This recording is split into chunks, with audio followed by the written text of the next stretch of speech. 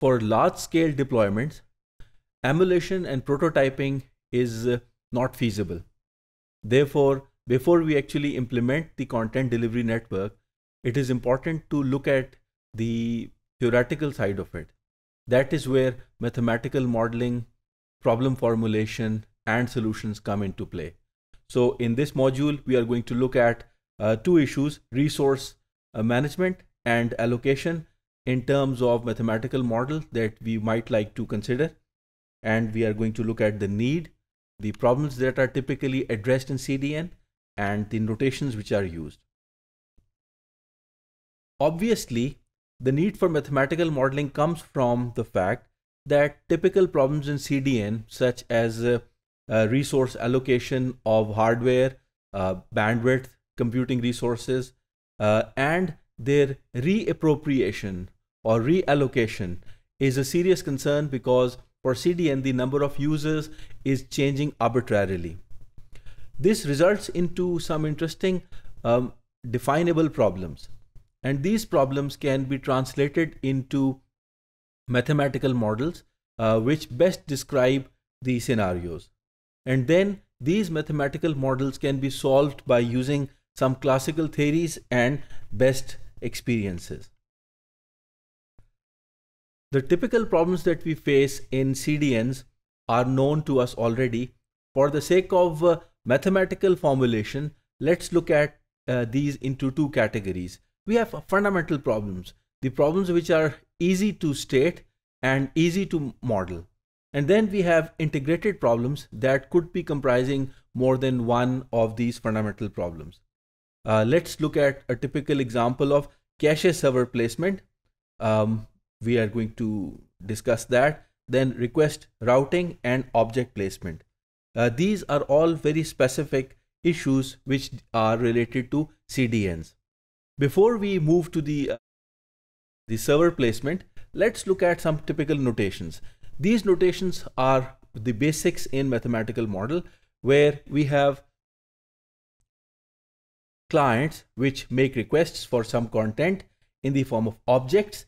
Then we have the servers, uh, the content itself, the objects, and then the requests which are made in the form of uh, HTTP or SOAP request. Then the physical distance between the client and the server, and then the costs which are incurred in operating the server, including the computing, the storage, and uh, bandwidth requirements. Then uh, we look at the uh, capacity of a certain caching server. It is one of the variables that we can define.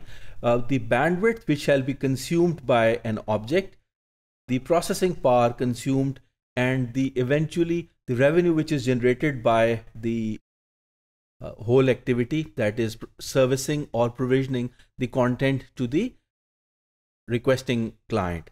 Then the latency in terms of uh, we can say the round trip time or the delay. Then we have the variables which are more boolean in nature. For instance, if certain request is entertained, if a request is redirected to the caching server, if the origin server is not there. Uh, so all these things are based on our understanding of how CDNs work. So before we actually go into an example scenario, let's just be comfortable that yes, indeed, all these different uh, variables and different uh, units can be assigned some. The caching server placement problem is a serious problem where we are interested in deploying the caching servers optimally at locations which in which we have certain uh, variety. Let's say we've got m locations and we've got n servers. We need to deploy n servers at n locations out of m total locations. This would involve reducing the overall cost function. The cost function is determined by the overall traffic. So we'd like to minimize the traffic. Likewise, the delay that the clients experience. We want the clients to experience lesser delay. And then the overall delivery cost, which in, involves the hardware, software, bandwidth, everything included. Then This can be mathematically described by a very simple expression that is the cost of serving client I from server J. It can be determined in terms of F, H, C, and uh, that's about it. Now, what are these variables? We need to go back into the table and see if these expressions make some sense. Then we have the static data placement static data placement is more of integrated problem because here we have issue. We do not have the origin server. We are relying on the proxy server or the uh, uh, cache server. Now the job is to place the objects at uh, various locations. These locations could be the proxy or the caching servers to minimize the cost. The cost for a client to access the object has to be reduced Similarly, if the object is held at the caching server, then we'll have a variable um, which is binary uh, z j k. If for a k object, if it is served by a caching server, the cost is going to be one, otherwise it's going to be zero. Another particular variable that might be of interest to us is xijk.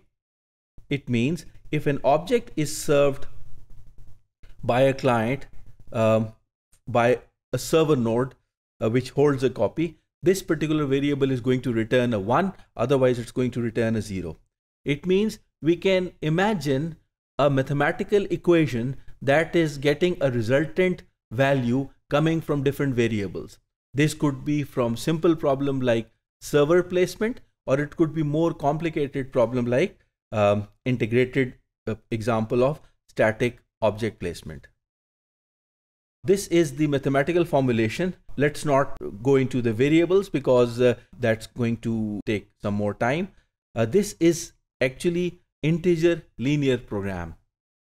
It's a optimization problem where we would like to minimize the overall cost. So it's an objective function that we would like to minimize. Now this has some constraints. The constraints are determined by x ijk. We are interested in summing up the total cost it takes for the object to be served by a nearest server.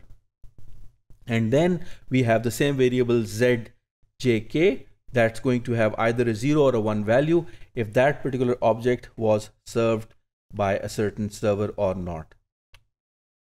Now, with these mathematical equations, we have the problems. Now, these problems could be solved by some workarounds.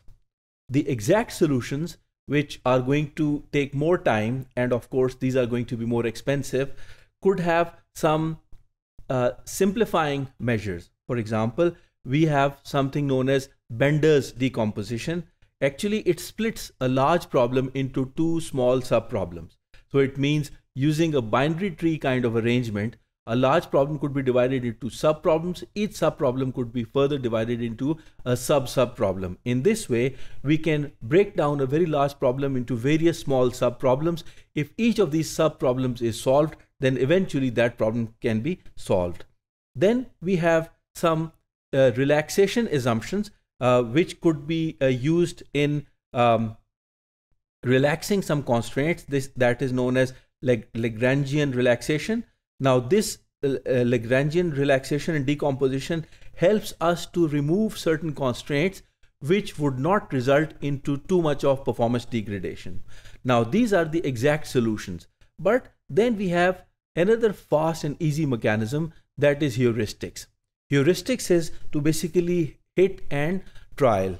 That is, uh, if you are looking for some kind of optimal solution, then instead of uh, trying each and every possible solution, you could go for greedy heuristic algorithm that searches the best possible alternative um, at, at each iteration. And if you are interested in not going beyond certain iterations, so the best possible fit in that number of iterations could be the best uh, greedy heuristic output.